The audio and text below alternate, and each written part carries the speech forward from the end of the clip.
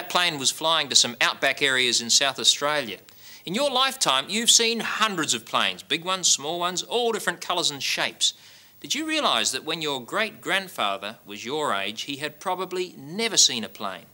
Your grandfather may remember seeing a World War I plane like this. This was designed by Geoffrey de Havilland and it's called the Airco DH2.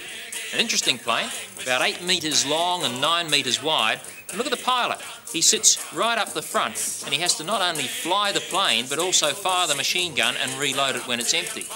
And also the propeller is in a strange position. Have a look at this. It's behind the pilot, spinning around, providing a thrust forcing air backwards so that the plane can go forwards. The body and the wings themselves were not made of metal, but rather they were made of cloth stretched over a wooden framework. And you'll notice that there are two of them. Each one is shaped like this, curved on the top, flat on the bottom. Air rushing over the top provided the lift for the plane to stay in the air.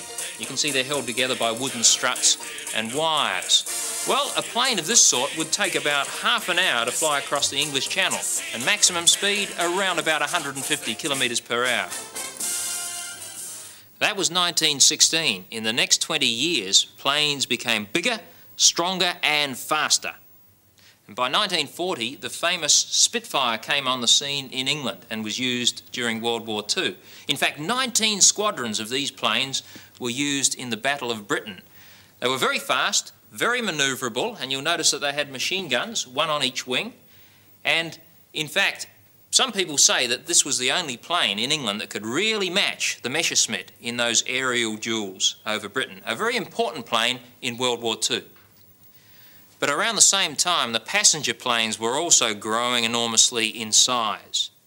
This was the Douglas DC-3, an American passenger plane really very large.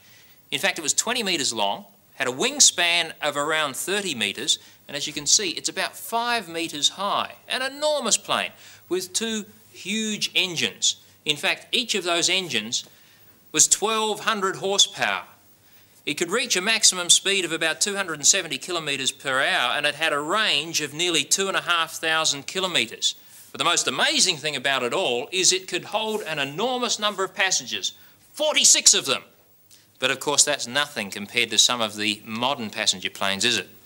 You probably know that there are planes flying today that can hold more than 10 times as many passengers as a Douglas DC-3.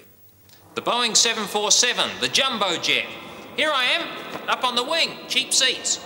I guess I should really be inside with the other 490 passengers who are sitting up to 10 across. It's an absolutely enormous plane. Have a look at it.